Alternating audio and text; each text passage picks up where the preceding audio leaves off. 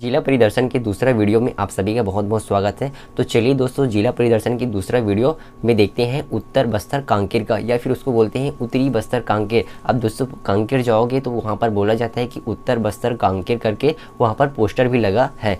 ठीक है दोस्तों तो इसका जो जिला गठन हुआ, जिला गठन हुआ कांकेर का तो यह जो छत्तीसगढ़ और मध्य प्रदेश, जब मध्य प्रदेश था, तब का भी बन गया है कांकेर जो आपका जिला है वो। ठीक है दोस्तों तो यह उन्नीस में जो उत्तर बस्तर कांकेर है, उसका जो गठन हुआ।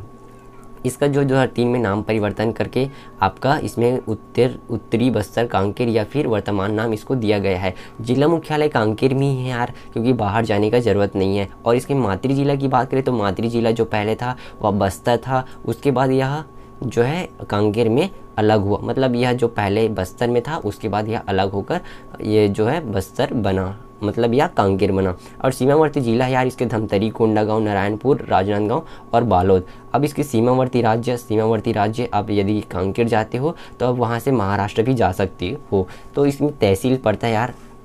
तहसील पड़ेगा यार आपका नरहरपुर चारामा, कांकेर भानु प्रतापपुर अंतागढ़ दुर्ग कुंदल और पखानजूर तो दोस्तों, आपको यहाँ पर सात तहसील मिलेगा। तहसील के साथ साथ दोस्तों, आपको सात इसमें जो है नरहरपुर, चारामा कांगेर भानु प्रतापपुर अंतागढ़ दुर्ग कुंदल पखानजूर ये सब आपको तहसील मिलेगा। सात जिनका तहसील रहेगा, उतना ही आपका विकास खंड भी रहेगा।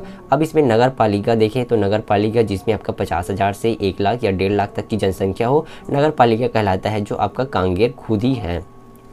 विधानसभा क्षेत्र की देखें तो यह Bhanu Pratappur S category, Antagarh S category और कांगेर एसटी कैटेगरी को लेता है। अब बात करें यहाँ लोकसभा सीट तो सिर्फ़ एक ही है, जो आपका कांगेर का, कांकेर का है, जो सिर्फ़ एसटी कैटेगरी के लोग ही इसमें चुनाव लड़ सकते हैं। अब बात करते हैं इसमें जनजाति, जो जनजाति इसमें कांगेर का, जो कांगेर का है, उसके जनजाति में सिर्फ़ हलवा और गोड़ पाया जाता है या फिर उसमें निवासित रहते हैं। इसमें भूगर्भित सैल सवाल देखें तो इसमें मुख्यतः धारवाड़ इसमें सेल्स समूह आपका धारवाड़ जो है रहता है। प्रमुख पहाड़ी है, इसमें आरी डोंगरी के नाम से जाना जाता है, जो आपका भानु प्रतापपुर तहसील ज़िले में है या फिर तहसील में है।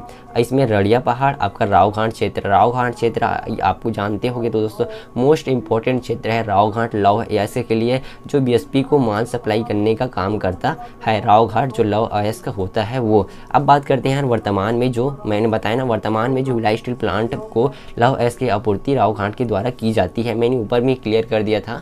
मैं इस टॉपिक को नहीं देखा था तो दोस्तों मैंने इसमें क्लियर कर दिया है। अब इसके खनिज न्यास की बात करें यार। खनिज न्यास। दोस्तों, आपको समझने की ज़रूरत है। बाकी कापी तो आप खुद पढ़ सकते हो। समझने की ज़रूरत है कि क्या बता रहा हूँ और क्या आप सुन रहे हैं उसको। दोस्तों आप देख सकते हो C G Vyapam C G P S C C G P S C C G P S C ये सब आपको जो यहाँ पर मिश्रण मिलेगा, आपको बाहर से कहीं का नहीं दिया जाएगा, आपको छत्तीसगढ़ से ही रहता है कि पूछा जाएगा राव घाट कहाँ से कहाँ से मिलता है और कहाँ उसका जो माल है सप्लाई होता है तो आप यहाँ पर लिख सकते हो या फिर आप टिक मार सकते हो कि जो राव घाट का जो लव स्टील प्लांट्स में इसका जो लव आवश्यक की पूर्ति करता है और जो भिलाई को ट्रांसफ़र करता है, जो चारामा में मिलता है, आपका मेटा बोदली में मिलता है, हलहट्टी में मिलता है आपका चार गाँव में मिलता है, आपका आरी डोंगरी में मिलेगा और गढ़िया पहाड़ में मिलेगा। दोस्तों, सोना सोना का भंडारण आपका सोनदई चिमिजगांव में यहाँ पर दिया गया है। और आज दोस्तों आपका बात करें बक्साइड तो बक्साइड मिलेगा आपका केसकाल की पहाड़ी पर बारह भावर केसकाल के नाम से जाना जाता है, जो बहुत फ़ेमस ही जगह है। दोस्तों, इसका मुख्य नदी आपका दूध नदी के नाम से जाना जाता है, जिसका उद्गम मजाड़ कुंड है और जलप्रपात मजाड़ कुंड जलप्रपात है। बहुत बड़ा जलप्रपात है दोस्तों, मैं यहाँ पर जा भी चुका हूँ और इसका जो नेचर है वो बहुत ही बढ़िया है। इसका तटीय शहर है दोस्तों, कांकेर है। दोस्तों, मेन इसका कांकेर ही पड़ता है और भान प्रतापपुर पड़ता है। चारामा दोस्तों, इसमें है आपका पुरातत्विक साक्ष्य के रूप में है, चारामा जो है, और इसमें लखनपुरी जो औद्योगिक क्षेत्र औद्योगिक क्षेत्र आईआईडीसी और आपका Singar Bhat counter terrorism jungle warfare college स्थापन की गई है।